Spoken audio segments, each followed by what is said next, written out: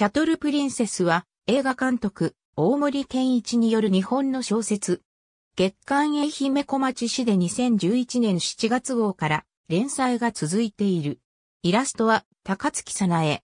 内容は主人公姫子が幹事を務める社員旅行の珍道中期。略称はシャトプリ。主役は東京在住の落ち姫氏29歳。今年もやってきた恒例の社員旅行。幹事の姫子は皆を故郷へ姫家に連れて行くことに。だが、積立金数十万円を使い込んでしまい、残金は2万円。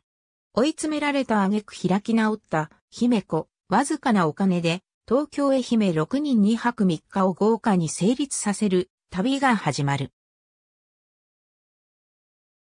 愛媛小町7月号連載小説、シャトルプリンセス2011年6月20日発売雑誌87785から07、愛媛小町8月号連載小説、シャトルプリンセス2011年7月20日発売雑誌87785から08、愛媛小町9月号連載小説、シャトルプリンセス2011年8月20日発売雑誌87785から09、愛媛小町10月号連載小説、シャトルプリンセス2011年9月20日発売雑誌87785から10愛媛小町11月号連載小説、シャトルプリンセス2011年10月20日発売雑誌87785から11、愛媛小町12月号連載小説、シャトルプリンセス2011年11月20日発売雑誌87785から12、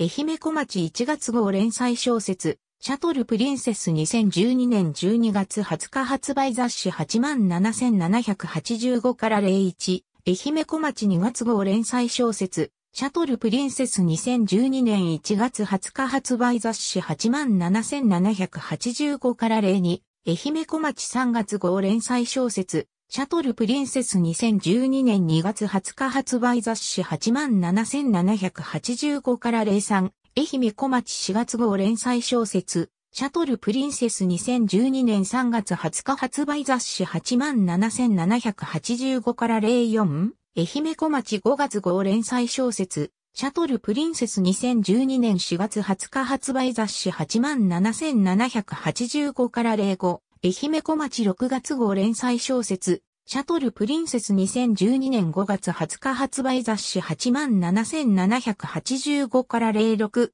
愛媛小町7月号より一時9歳。2014年連載再開の予定。ありがとうございます。